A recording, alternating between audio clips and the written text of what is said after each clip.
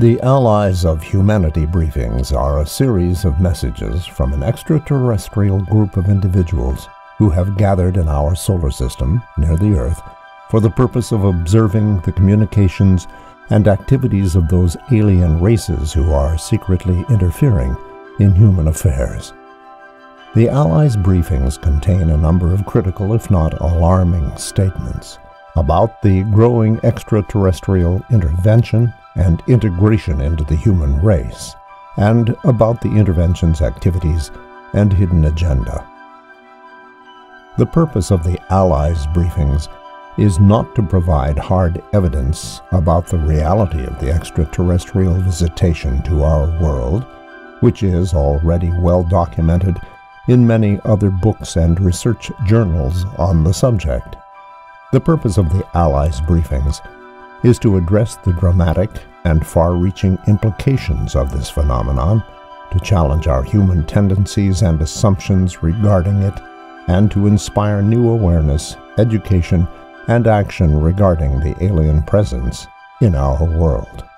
The Allies' briefings offer perspective and vision into a complex subject which, despite decades of mounting evidence, continues to baffle researchers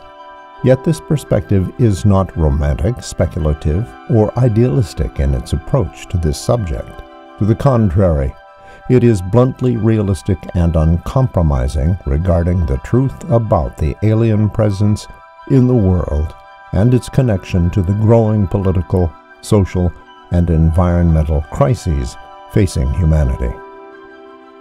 To truly understand this message,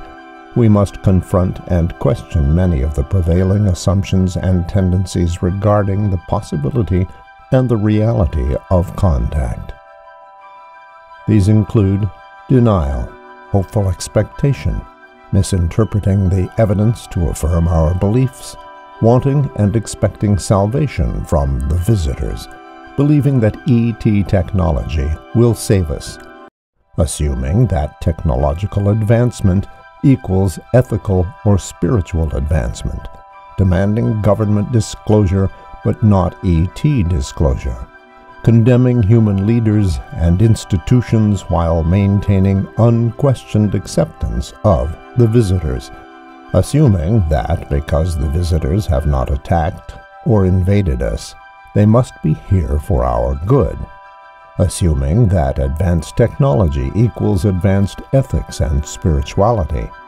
believing that this phenomenon will always be a mystery when in fact it is a comprehensible event, believing that ETs, in some way, have claim to humanity and to this planet, and believing that humanity is irredeemable and cannot succeed without help from the beyond.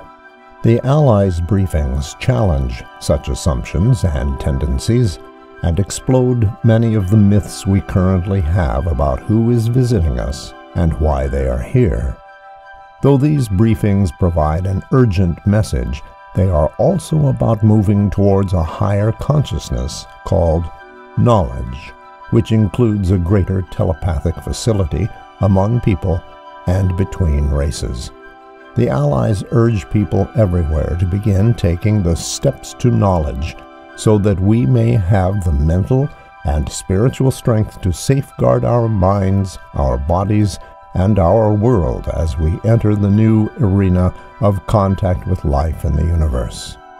The Allies' briefings present a genuine transformational message that reveals the purpose and activities of those alien forces in our world today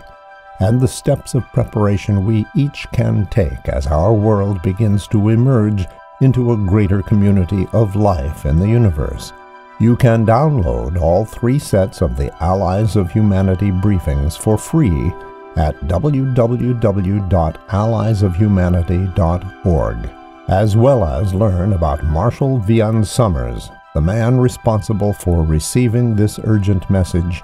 about the alien presence in our world today.